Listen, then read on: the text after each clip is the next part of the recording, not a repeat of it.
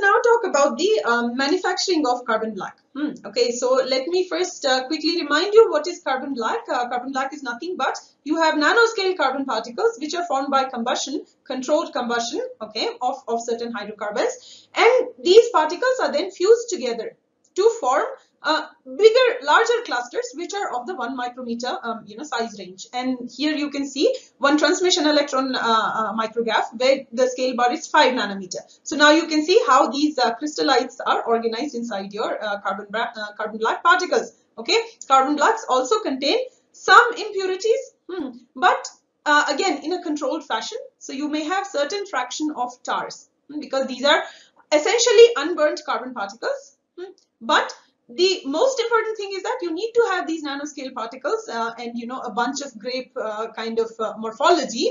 Hmm, and that is why that is when you call it carbon black. Carbon black is not soot. Hmm, so this is something we discussed in the previous lecture. Okay so when we talk about the manufacturing um, i think uh, i said that uh, in the previous lecture as well that what is very interesting for us, this is probably the only carbon material that we are going to study in this course, which is formed by combustion and not just uh, pure pyrolysis. Hmm. So the process of manufacturing is, um, it is a combination of combustion and pyrolysis. Hmm. And these two processes, in the case of carbon uh, black manufacturing, are really different, to, different uh, difficult to separate. Hmm. So you cannot say this part was pyrolysis and this is combustion. Okay. So the idea is that here also you take a hydrocarbon as a precursor because uh, for every uh, carbon material hydrocarbons are essentially your uh, your precursors. If you remember um, in one of the lectures i think it was um, hopg lecture somewhere we talked about or when we first talked about the um, you know pyrolysis of gaseous hydrocarbons i had shown this um, uh, diffusion flame and uh, uh, premixed flames how do they if you use them in a burner then you will get some kind of carbon Hmm. So in fact, this soot formation is you can say that is that has been the motivation. People realize that uh, you know hydrocarbons especially volatile and gaseous hydrocarbons can always yield some solid carbon particles um, you know when the temperatures are high enough hmm, on the decomposition. Hmm. now the question is that the decomposition is just thermal? Hmm, in that case it is pyrolysis. Or is it thermo-oxidative? Hmm, in that case, it is combustion. Combustion, the terminology combustion you will use when you have excess oxygen. But in this particular case, we do not have excess oxygen. Hmm, and that is why we don't call it, um, we don't call it uh, uh, the, combustion. We rather call it thermo-oxidative decomposition. Hmm, okay. So this um, the, that experiment which uh, where you uh, had the you know carbon smoke being produced and then we uh, collect the carbon smoke and then we filter out the particles uh, that candle uh, experiment or the diffusion flame experiment that is something that also is very important here. Okay. So um, yeah this is thermo-oxidative um, decomposition. Hmm. and you can also in some cases um, extremely few cases uh, especially when you're using acetylene then you can use uh, some pyrolytic processes as well. So that is that is something that we will call thermal oxidation. But the most common technique, at least the industrial production, even though um, precursor can be acetylene, hmm, but the thermo-oxidative uh, decomposition is, is more uh, common in the case of uh, carbon black production. Okay. The idea is because now we are we are uh, basically taking a fuel and we want to um, to burn it hmm, and to make sure that the burning is done in a controlled environment but we want to burn it. So in that case what is very very important is that your um, fuel gets completely mixed or vaporizes hmm, completely in, in the into the um, oxygen or whatever gaseous mixture you're using okay that is also very important because only then you're going to get these well-defined nanoscale particles hmm, which ultimately form your larger uh, clusters hmm. so if you have noticed in the previous um, uh, class that I had shown the uh, this um, uh, transmission electron micrograph, what is very important to note in that image that these nanoscale particles which form the entire cluster, they are very well defined. If you see that actually they happen to be almost always approximately 12 nanometer. Hmm. So that is like the optimal uh, optimum uh, size. Hmm. Okay, so in order to get those very highly controlled, uh, you know, uh, the sizes of nanoparticles, you need to make sure that the process is bottom up. Hmm. And for it to be a bottom up process, you need to have your fuel completely vaporized inside your um, uh, inside your hydrocarbon completely vaporized in inside your uh, gaseous mixture. So this hydrocarbon also I said fuel because that is basically often we use the term precursor when we call it uh, pyrolysis but in the case of combustion we can also call it a fuel hmm. and as fuel you can also use then hydrocarbon gases so methane can also be so natural gas is also your uh, fuel hmm. okay and you can also similar to other pyrolysis processes you can use light hydrocarbons as well in in, in fact sometimes you can even use uh, light oils. Hmm. okay. So if you are using these light oils hmm, in that case you need to make sure that they are disintegrated before they go inside your reaction chamber where the actual combustion is going to take place. So the idea is to have a very very very uniform distribution of your precursor inside your gaseous mixture. Okay. So now let's talk about this process flow chart huh? that will make it uh, more clear. So the first thing you have is your raw material or whatever is your um, hydrocarbon. Hmm. so the first step is the mixing. Hmm, so this is what we are talking about that the mixing um, the, so there will be various parameters. How do you mix something inside a, a fluid gaseous fluid? Um, you're basically using the shear forces of the of your gases. Hmm, and there you will need to uh, control the velocity of your gases. Hmm, so that is uh, one option. Now it depends. You of course will need to optimize the concentration of your fuel inside your gas gaseous mixture which by the way definitely contains oxygen hmm, or air. Hmm. it is sometimes also called combustive air. Okay. So the optimization parameters. So here i have written uh, in black color i have written the parameters that need to be optimized at that particular stage. Or at least the main parameters okay? So here you're going to control the pressure. You're going to control definitely the temperature. The temperatures here are often 700 to 800 degrees already. Hmm, okay?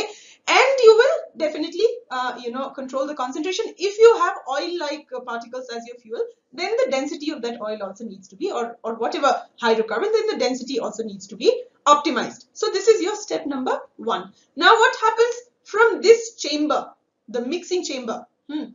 Now you will have your hydrocarbon mixed inside the hot gases which then goes into the next chamber which is your actual reactor or your production unit hmm. so now these reactors can be of different types and also the scale can be different. Again, the uh, carbon black production is, um, there are uh, plants where you have hundreds of thousands of tons of carbon black being produced every year or you will have also um, slightly smaller scale uh, carbon black uh, uh, production plants. So depending upon that and also depending upon what is the process. So there are uh, four or five different uh, ways of making carbon black which we are going to uh, discuss in the subsequent slides. The point is that based on that, your reactor design can differ. You may have a furnace hmm, uh, and not really a reactor, but you can also have a reactor. You can have a fluidized bed reactor, um, similar to what you had in activated carbon. Hmm, so those kind of, all of those uh, uh, principles, and that is why I'm not going to uh, describe individual um, individual types of furnaces or reactors because things that are reactors that are similar to uh, activated carbon can also be used here. Now the optimization uh, parameters. Now remember that here you don't have pyrolysis. You have um, you have burning. You have combustion taking place in this chamber. Hmm, okay, so you definitely need sufficient oxygen or air supply and there you need to um, ensure that you have the correct partial pressure of gases. Because you are supplying air and you are forming carbon dioxide carbon monoxide because when there is any burning taking place then definitely you have a lot of flue gases. You have a lot of um, you know gases that um, that may not participate in the reaction but you need to ensure that they uh, they are removed. Hmm, okay so you have to ensure that the partial pressure of all these gases that are uh, being supplied or being generated um, that are optimized. Hmm, such that uh, you have the optimum uh, combustion taking place. Such that you also have some formation of solid carbon particles and not all the carbon is converted into carbon dioxide uh, or carbon monoxide. Okay? What else? Here also you will make sure that uh, the shear uh, forces between the gases and the velocity of gases um, is optimum. So in some cases, let's say when you're using um, uh, small hydro, um, like hydrocarbon gases, very small hydrocarbons as your fuel, not oil or anything. Hmm. In that case, you may not have the mixing chamber. Hmm. Although in most cases you have the mixing chamber, but if you don't, because you, for example, used uh, methane, hmm. in that case, in the reactor itself, you will also uh, ensure that there is proper mixing of your fuel. Hmm. Or you can also have the pre-mixed fuel. So this is uh, your primary unit where the production is taking place. Okay. Now from here, what goes out is like this carbon smoke. Hmm. This is practically smoke. Hmm. Okay. But this the particles in the smoke, unlike soot or anything, they are very well defined because um, you you did not just spray the fuel. You made sure that the fuel is very uniformly uh, distributed and that the particles of the fuel are very very small. Hmm. So that's why you have well-defined carbon particles formed here, but they are in the form of what is known as the carbon aerosol. Hmm. And this also contains the process gas because uh, process gas here would uh, also contain some carbon dioxide, carbon monoxide. Um, so all of these hot process gases and the aerosol of carbon uh, black then um, then because this entire thing this entire mixture is still hot right so you now need to quench it. And with quenching what you are also doing is you're just stopping the process there no further uh, uh, you know burning takes place after that hmm. so you will have a um, typically water cooled chamber where you uh, perform the quenching hmm. and there of course the optimization parameters are the temperature of the entire chamber, temperature of water, and also the velocity of water jets and so on. Sometimes you will spray the water. So all of these are then your optimization parameters. Now you basically have your carbon black, hmm, but now this is in the form of a cooled aerosol, which then goes inside filters of various types. So I have only shown one box with, uh, you know, filter, but there may be multiple filters also. Hmm. And in these filters, what you uh, obtain is a fluffy carbon material, fluffy sponge-like carbon deposit. And in fact, um, it is also industrially sometimes called fluffy carbon. Hmm. So now you get your fluffy carbon deposits. Hmm. That is essentially your carbon black, which you will further now, if you want to sell your carbon black in the form of pellets, then you will perform uh, pelletization, which could be dry pelletization or wet pelletization, or you can um, also perform further processes. For example, in some cases also oxidation is performed for these uh, particles because Oxidation then further lowers the density because some oxygen uh, will consume your carbon particles, right? So you you will um, you can even get uh, in some cases you can even get hollow particles. So in that case, the density is much much lower. Um, but that of course depends on the requirement. You know, why are you? Uh, do you really need low density? Hmm, that depends. Uh, uh, if yes, then you can also perform further processes. So this is the basic idea of the of the process of uh, carbon black manufacturing. Okay, so this is something we already talked that the uh, the idea, whatever precursors you take, even if they are light hydrocarbons, alcohols, whatever, or oils, they should be able to completely convert into this gaseous phase. And we are saying gaseous phase means you should have small enough particles that are uh, uniformly distributed through your gaseous phase. Okay, this will actually determine the morphology of your individual particles and your cluster. Hmm. So also by tuning, this is it, by changing your uh, uh, the hydrocarbon precursor hmm, or by um, also changing its dis distribution, the concentration of your hydrocarbon precursor inside your gases, that is what determines the size of the cluster hmm. because cluster size is important. The nanoscale, the smaller particles that make the cluster, their size is often um, already defined because this is a bottom-up process and this is um, there is a certain optimum size 10 12 nanometer. That is where those particles will stop growing. Hmm. so that is already well defined. But uh, the particle the larger particle size and the morphology can be slightly tuned not very much but slightly tuned uh, by optimizing these parameters especially the concentration and distribution of your hydrocarbon inside the gaseous mixture. Okay now, what is important? So I, I said that you can have different types of, of, uh, of furnaces or reactors. Hmm? Okay, so those reactors, furnaces, often actually um, when, when we talk about activated carbon, any other form of carbon, also when we talk about uh, uh, later on, we'll talk about carbon nanomaterials and we talk about CVD reactors, all kinds of reactors, uh, they have certain um, features that, that define them. So either they are closed systems or open system. That is one uh, sub, one feature which which can always be used for uh, for differentiating between uh, between your reactors. What you can also have is now in this particular case you have flames because you're performing burning, right? So you have flames. Now you can have either turbulent flames or you can have the diffusion flames. So water turbulent and you, as the name suggests, turbulent flames are, they have sort of turbulent uh, flow of, of gases and, and the, the, the species that are produced. But you will typically have these kind of flames in a closed system. Hmm. So closed furnace-like system will have, if you have flames there, then you will have turbulent flames. And the open flames which have, um, you know, enough oxygen will typically be um, diffusion type flames. Hmm, okay. Um, now, do you again, if you remember from this lecture uh, on HOPG when we talked about diffusion and pre-mixed flames, please go over that one more time. That will tell you the difference between uh, pre-mixed and uh, mixed and diffusion. So basically, you're either supplying the fuel in the beginning itself, you're already mixing it with your uh, carrier gases, or you're supplying the fuel um, afterwards. So that also basically is the optimization process for your uh, the quantity of fuel. Okay. So in both cases, you can uh, get carbon black, but uh, this is uh, one of the, the, the criteria of classification. Based on all of these factors, um, you have these six main types of carbon black uh, production reactors. Hmm, okay. So what you call furnace black, so it is called furnace black. Huh?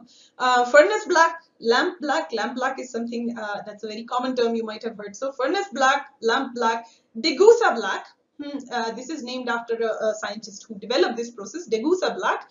Channel black, now channel black process nowadays is um, obsolete but this is uh, still uh, one of the first processes of making um, carbon black. Hmm, okay. Then there is thermal black process also there is acetylene, acetylene black process. Uh, so these are the uh, primary processes which are still furnace black um, in my opinion is the most common one. But these are some of the techniques and, and also acetylene black so now we are going to also learn about um, the further classification of, of, of, these or further you know what is the process why do we give this name to uh, the particular reactor? Okay so I told you before that there is thermo-oxidative process and then there is just um, decomposition, thermal decomposition. Huh? So pyrolytic and combustive, both types of processes we have. But in most cases, what we are going to use is thermo-oxidative. We don't call it pure combustion because we don't supply um, oxygen in excess. Hmm, okay, so here is a chart where you can see these different types of processes that I have just mentioned. Hmm. Furnace black, lamp black, Degussa black, and so on. Hmm. What are the precursors for each individual process? Hmm. And what is the type of system, whether you have turbulent or diffusion flame, and whether you have, um, you know, closed system or open uh, system. Hmm. Okay. Now the last two, thermal black and acetylene black, you see that these two are actually thermal decomposition processes. So there are there is minim very very little to no oxygen in the case of uh, this decomposition. This is mm, so mainly thermal. Hmm, okay. Primarily thermal. Okay so oxidative part is much lower to none. Hmm, okay. There you can have either a discontinuous or a continuous process and in that case you can also use different types of uh, precursors acetylene black which is also um, which is a, a common uh, process for making uh, carbon black um, it's also industrially used a lot this process as the name itself suggests that this is uh, the precursor is going to be acetylene hmm. so okay um, now you can find a lot of publications where people have used other precursors so whatever I have written here some of them are more general in nature anyway. When I say aromatic oil, there can be a lot of different types of aromatic oils, right? Um, nowadays, there is also a lot of uh, attention paid to making carbon black um, from the waste pyrolysis oil. So when you perform um, partial combustion or pyrolysis of waste, urban solid waste. Then there, is, there are some uh, oils produced hmm. and these oils do not have very high uh, calorific value. They are a mixture of a lot of hydrocarbons. Um, they are very tarry products. But one application of these um, these oils is also for the production of uh, of carbon black. Hmm. Okay, so these are basically this is um, uh, these are the all the methods of carbon black production. Okay, so actually if you want um, to read uh, further hmm, so there are uh, many many more details of each individual type of reactor as i said that some of these i had already covered in the activated uh, carbon lecture so i'm not going to repeat them but if you want to read further details um, this book carbon black science and technology by jean-baptiste donnet is very um, uh, that that is kind of it gives you a complete uh, overview okay so what we are now going to discuss is the mechanism of formation of carbon black. Um, so this, this mechanism is very interesting for us. Why? Because it's different.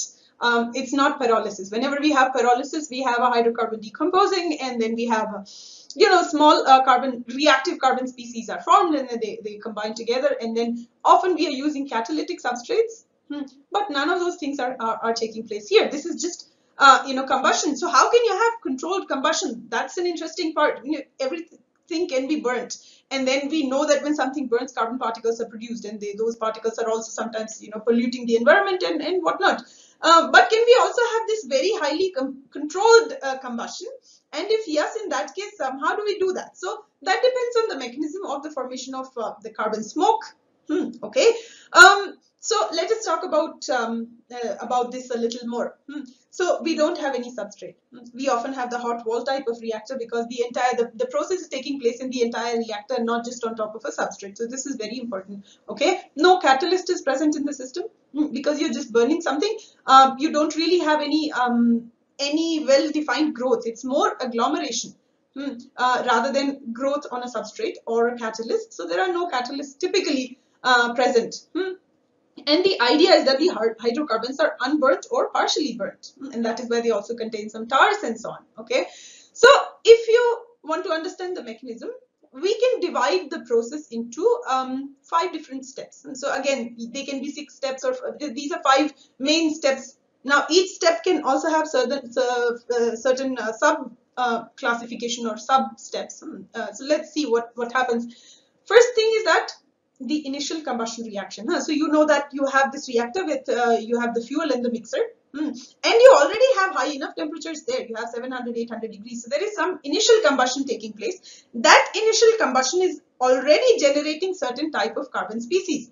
Hmm. Uh, and those are still hydrocarbon species they can be hydrocarbon as well as carbon species huh? so this is going to be slightly different from pyrolysis so if you uh, perform pyrolysis of methane and then you um, you know do certain uh, gas analysis using say uh, mass spectrometry hmm, then the the kind of species that you're going to find are going to be different compared to what you're going to find here because you have oxygen present hmm. but there is some sort of plasma some type of mixture of ions and uh, reactive um, species that is being formed during the initial combustion. That is your step number one. Hmm.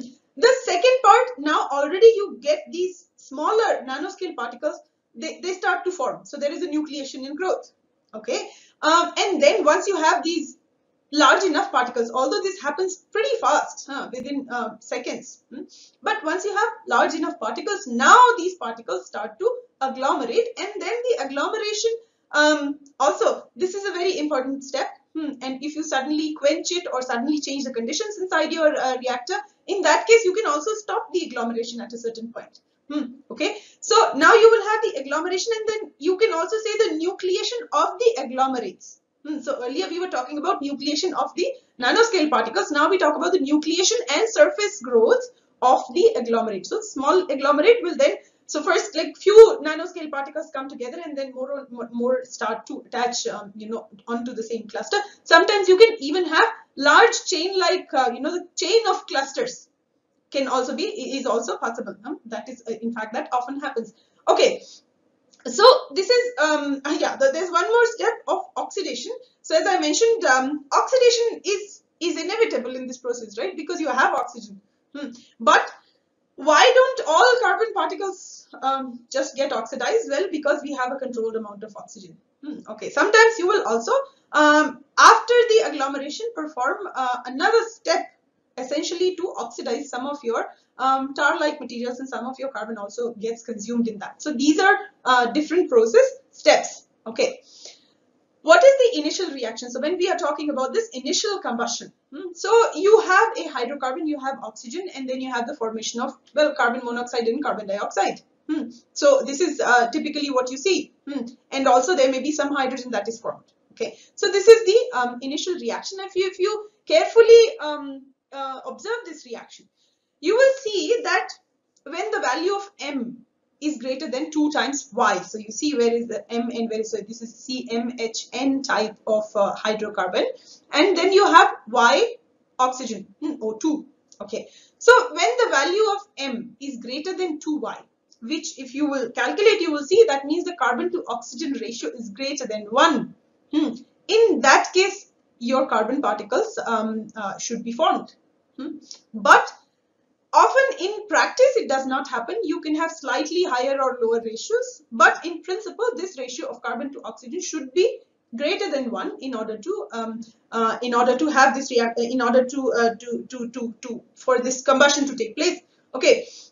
But this is also one more very important thing here is that uh, this is often a non-equilibrium process. The formation of carbon black altogether is a non-equilibrium process and that is why it also makes it very difficult to analyze and to under uh, to you know um, to figure out exactly what uh, should be the process parameters because this is a non-equilibrium process most of the thermodynamic and kinetic aspects that we talk about hmm, they are valid only for equilibrium, equilibrium conditions, equilibrium reactions. And this is a, uh, especially when we continuously provide the oxygen, this is a non-equilibrium process. And that is also the reason sometimes you will have um, the formation of uh, carbon even at 0.5 carbon to oxygen uh, ratio. But in principle, it should be greater than 1. Um, it, so for equilibrium conditions, it should be 1.03 or something, slight, just, just above 1. Okay.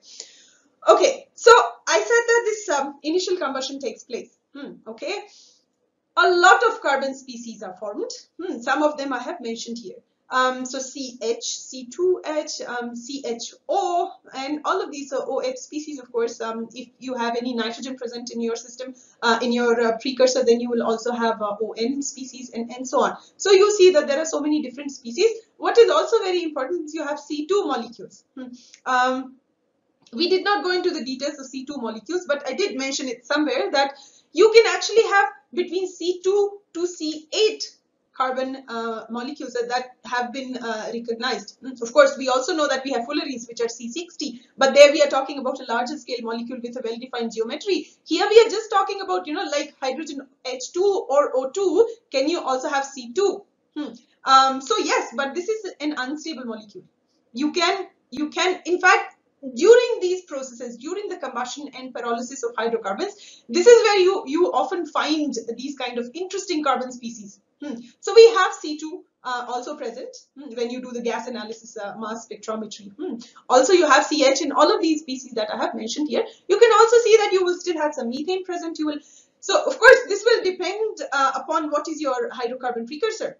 Uh, uh, so in that case, but these are the possible species or these are the species which have been uh, experimentally validated uh, in such systems. Hmm. And also you will also uh, have some polycyclic uh, aromatic hydrocarbons. Hmm. You will also have some benzene formation, some naphthalene formation.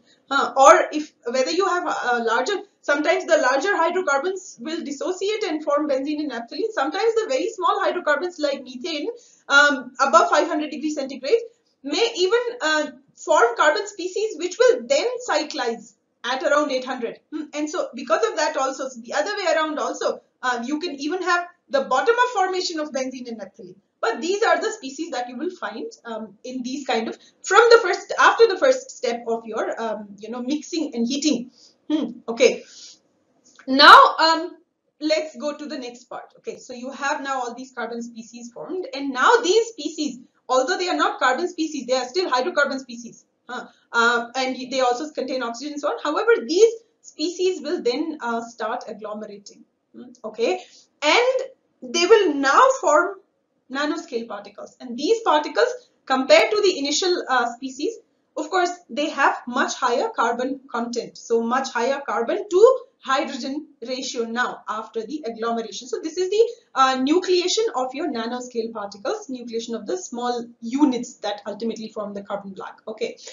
One more important thing is that all flames contain ions. Hmm. And ions are very high energy uh, uh, particles, right?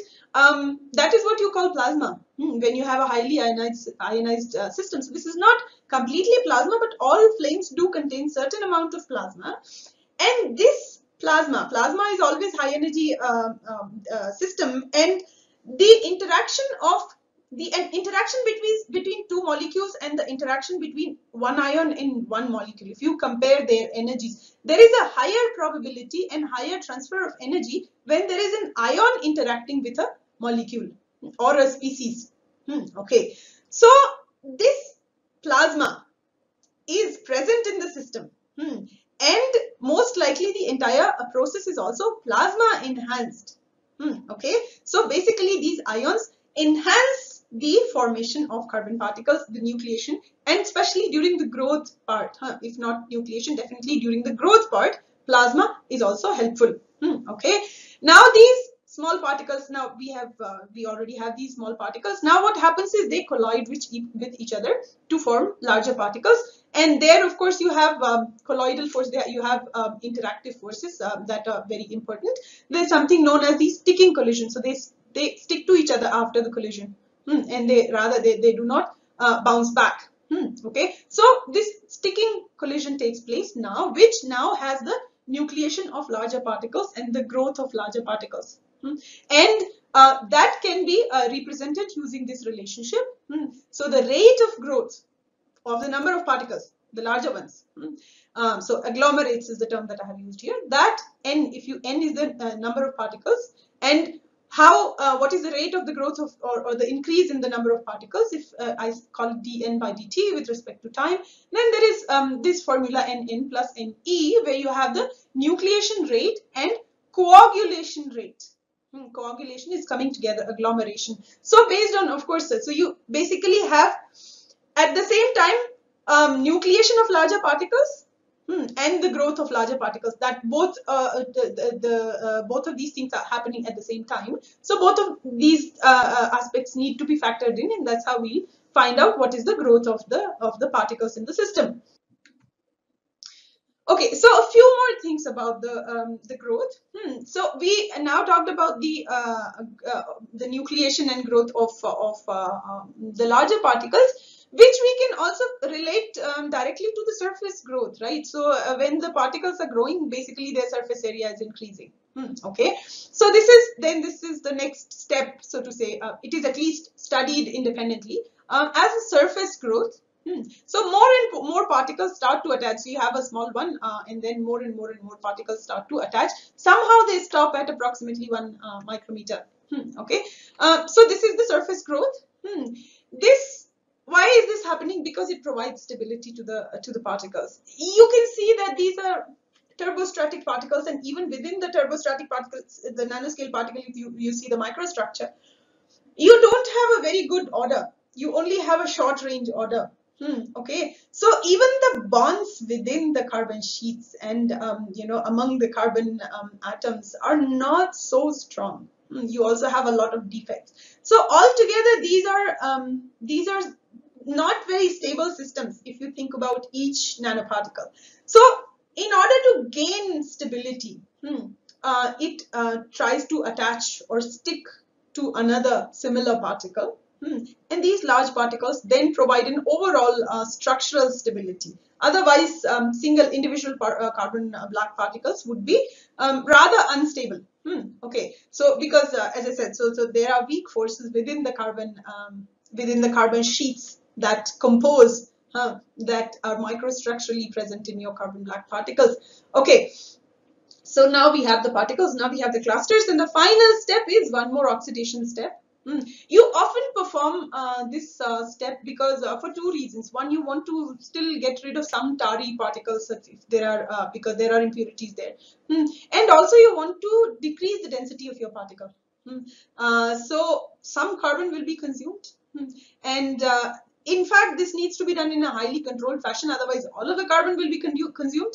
Hmm. But if you are uh, performing it in a controlled, um, you know, fraction of oxygen, in that case, you're basically um, just reducing the uh, density a little bit. The overall concentration of the particles inside your chamber will also reduce because some carbon will definitely get consumed at this point. So now you will perform. So oxidation makes your uh, particles also more reactive because the surface becomes more you know you can also induce certain functional groups this way. Hmm. okay. Um yeah. So you need to however do it in a very controlled fashion. Hmm. okay. So these are basically all the all the parameters of uh, of the or these are the uh, you know steps in your uh, in your uh, uh, formation of carbon black and the mechanism. Okay. Now we can also um, think of some optimization parameters here. Temperature, of course, temperature in all cases. Anything that is hap happening at high temperature um, needs to be uh, temperature controlled. But here also it's very important. Each step, the mixing step will also have a certain temperature. Then the reactor is um, between 1300 and 1500 degrees centigrade in most cases. So uh, the temperature needs to be controlled. And also when you perform the quenching and then collection and so on. Oxygen concentration, of course, otherwise it will burn your particles completely. Hmm, you don't want to do that. Otherwise then uh, it will become more like soot. Hmm. Also the flow rate, again, if the, the flow rate of gases depending upon your um, precursor, if you have the oils and so on, what is the concentration of your oil inside your um, your chamber, uh, the fuel species basically, that also needs to be controlled. Otherwise, if you have too much, if your uh, fuel saturates uh, your entire um, chamber, in that case, you may end up getting larger fuel particles or larger droplets in the case of uh, liquid hydrocarbons and those will then uh, form soot rather than uh, carbon black. So then you will get these larger particles also um, attached to your carbon uh, black um, substrate, uh, the particles. Hmm, okay. So basically, both carbon to hydrogen, carbon to oxygen ratios needs need to be um, need to be well controlled. Hmm. So if you perform the large scale production, so this is kind of a summary again. First thing is that your mixing unit, um, then you have the reactor where you perform the carbon black uh, production actually. Then you have these um, various filters and separation equipment. Hmm. And then you will do the final processing where you might perform pelletization and so on. Hmm. And then ultimately it will go to your storage facility and end product. So this is more like a supply chain, but not not the complete or uh, you know the the line where you the production line. Hmm. But this is not exactly complete production line, but these are the primary steps. Okay, and yeah, one more important thing is that you might want to utilize the waste gases, which is uh, nowadays a big environmental concern. So utilization of waste gas gases is also another step.